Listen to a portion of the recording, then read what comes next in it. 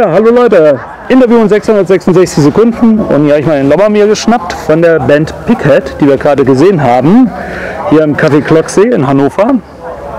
Ja, man sieht ja bei dir so eine Entwicklung immer weiterhin zum Härteren, ne?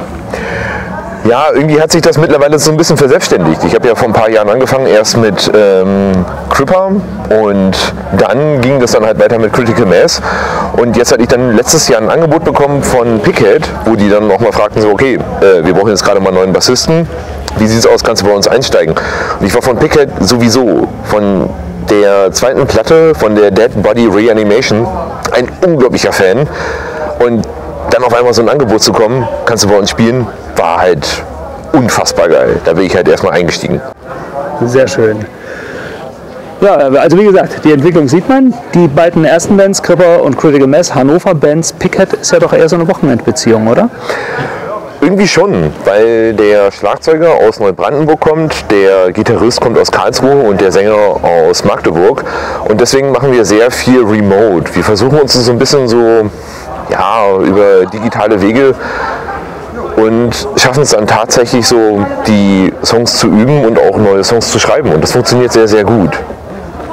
Wie bereitet ihr euch vor auf so Shows? Das ist sehr unterschiedlich. Also wir versuchen einmal im Quartal zusammen zu proben. Das klappt mehr oder weniger gut.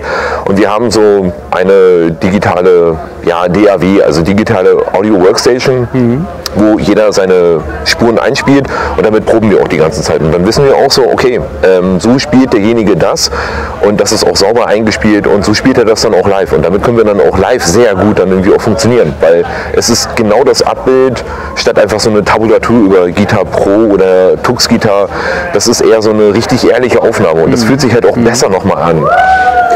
Aber er braucht auch viel Disziplin dafür, ne? Das auf jeden Fall. Also ich stehe beispielsweise morgens um 20 vor 5 auf. Ähm, da klingelt mein Wecker, setze ich mich erstmal hin, ich setze eine Kanne Kaffee auf, trinke die, nicht komplett, sondern erstmal eine, eine Tasse, meditiere so für 10, 15 Minuten und dann spiele ich Bass. Weil das ist genau das, was mir halt wichtig ist. Und dafür räume ich mir halt auch die Zeit ein. Und ich weiß, ich kann das nachmittags nach der Arbeit halt nicht dann irgendwie mich hinsetzen und dann auch mal Bass spielen. Deswegen dann halt lieber morgens, weil das ist so die Zeit, wo ich gut funktioniere. Mhm. Das ist ja auch ein anstrengender Job. Ne? Also ich kenne dich ja ab und an kommst du ja bei uns im Krankenhaus vorbei, um da Geräte zu beproben. Gesundheitsamt machst du auch noch ein Studium. Ne? Ja, mit dem Studium bin ich schon tatsächlich ja. durch. Ähm, ich habe Biologie studiert und bin jetzt mittlerweile auch in dem Bereich Trinkwasserhygiene gelandet. Aber ja, der Tag ist halt voll und da muss man halt versuchen, wie man oder halt gucken, wie man das dann irgendwie gut auf die, auf die Reihe kriegt. Das ist halt alles nicht ganz einfach. Zeitmanagement, das ist halt der wichtige Punkt dann dabei. Und das funktioniert halt für mich halt auch sehr, sehr gut. Das ist Rock'n'Roll, Leute. Das ist Rock'n'Roll heutzutage, ne? ja, es wäre halt schön, dann irgendwie auch zu sagen, man lebt halt so ein bisschen laissez-faire, aber das funktioniert halt leider nicht. Mhm. Aber ähm, dafür ist es halt schön, in dem Moment auf der Bühne zu sein und einfach genau das zu, zu machen, worauf man halt die ganze Zeit hinarbeitet. Und wenn man halt jeden Tag dann sich hinsetzt und dann die Songs übt und dann auf die Bühne kommt und die Fans Bock auf sowas haben, dafür lohnt es sich halt immer wieder. Das sind ja auch komplexe Stücke, haben wir ja eben gerade gesehen und seit Mai zwölf Stücke. Chapeau. Das ist schon, äh, da hast du bestimmt lange geübt, jeden Tag. Auf jeden Fall, weil das sehr schnelle Songs sind und auch sehr, sehr technisch anspruchsvolle sind.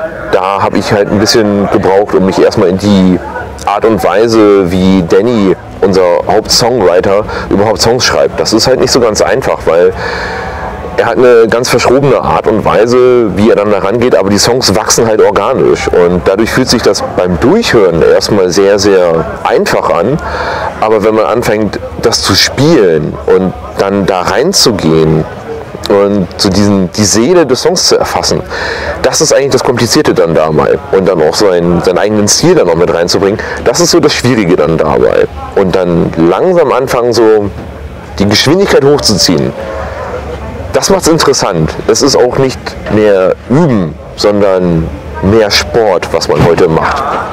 Also du fängst erstmal beim Einspielen langsam an, bis die Strukturen sitzen, dann drehst du die Geschwindigkeit hoch.